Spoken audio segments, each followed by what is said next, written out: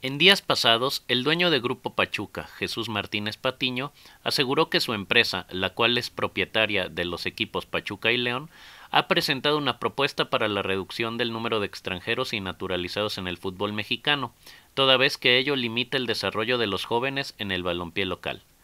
Aunado a ello, Jesús Martínez también señaló que a pesar de que Pachuca y León tienen bastantes extranjeros y naturalizados, lo más importante es que han pugnado por un desarrollo de la cantera en ambos conjuntos, además de decir que habría que valorar cuántos de los foráneos juegan realmente y cuántos jóvenes lo hacen en sus equipos.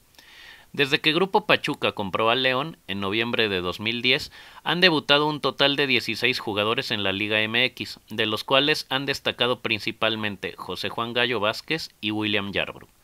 El caso de José Juan Gallo Vázquez ha sido sumamente destacado, pues si bien es cierto que no fue desarrollado del todo en el seno Esmeralda, sí fue el equipo que lo debutó en primera división en el torneo Apertura 2012, lo cual ha hecho que se desarrolle en grande en su carrera futbolística y que al parecer promete cada día más. El otro elemento que ha tenido un cierto desarrollo significativo es William Yarbrough.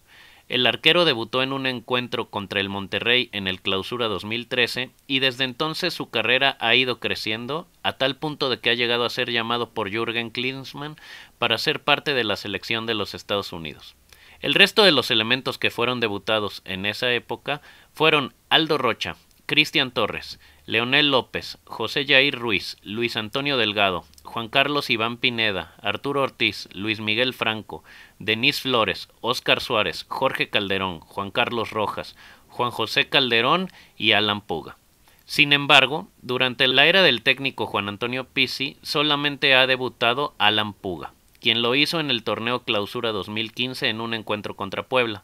De ahí el entrenador argentino no ha vuelto a debutar a ningún otro canterano, además de que los jóvenes no han encontrado espacios suficientes para desarrollarse con él. Se puede decir que el único elemento que ha sido constante en el esquema de Juan Antonio Pizzi es Aldo Rocha, frenando de esta manera el desarrollo de los demás elementos jóvenes quienes han visto poca acción durante el mandato del argentino.